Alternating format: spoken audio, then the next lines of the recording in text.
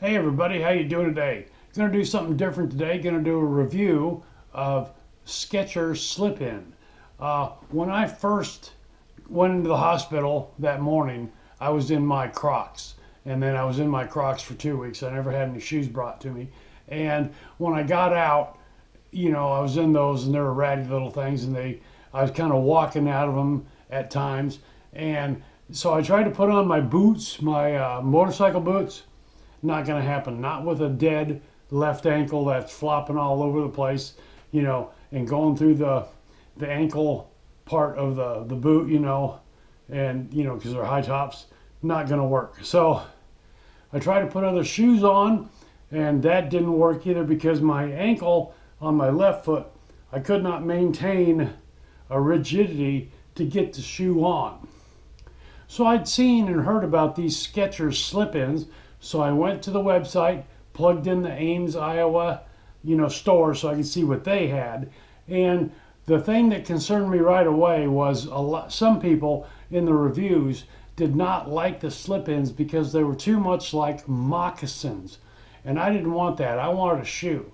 So I did some looking around and I finally came up finally came up with this model called the Garza Gervin Black. And it's got like a a hard upper. It's almost a dress shoe, but not quite. You know, it's a slip in. So I went to the store, hobbled my way in, and they were real nice. There was a couple people there, and they had this shoe at 10 and a half, which is the size that I wear. Uh, man, I tell you, the first time getting it in on the left foot took about five minutes, almost fell over. When your ankle will not, you know, be steady, the the heel was slipping, you know, left and right. And these shoes, at least the 10 and a half that I got in this this uh, model, it's pretty stiff getting in. You've got to do one or two, or three pushes. Man, it was like 10 pushes to get in to this shoe for me on my left foot. I'll demonstrate here. Okay, first I'll show you the shoe here. It has some good tread on there. It's not exactly a moccasin, it's a it's a hard hard upper. Okay, the right foot about three pet presses and I'm in. The left foot, there's one, get the toes in, three, four, five. There we go but I'm pretty happy with this shoe. At first it was real hard to get in, but my left foot was swollen. The swelling has gone down as I've been working out, yada yada.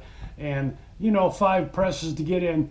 They're it's it's kind of interesting how they use their technology. There's a little thin piece of elastic back there that you know the heel is real tough, real solid, and then you press on in. The toes slip in, and it's a pretty good shoe in my book. Uh, I may go back and get another pair because, like I've always said, if you find something you like, you better get two or three because in six months to a year, not going to be there, okay? Sorry, I'm a little out of breath. I just came in and out about 10 times, bringing in clothes and stuff like that. So, anyway, the Skechers slip ins, uh, my first and only experience with them, give them two thumbs up. Uh, like I said, I may explore some other versions. I wouldn't mind having a moccasin set for summer. However, I think my Croc knockoffs that I usually wear in the summer that have elastic heel, you know, have that have Velcro adjustable heels, I may be able to get into them by the time summer really rolls around. Uh, you know, a couple weeks ago, no way. Uh, Today, it's a whole different ball game with therapy. The heel, my ankle, has stiffened up a little bit. It's still kind of wobbly and, and all over the place. But anyway, the Skechers slip-ins, if you're having trouble getting into shoes, I give it a two thumbs up. All right, thank you very much. We'll see you again.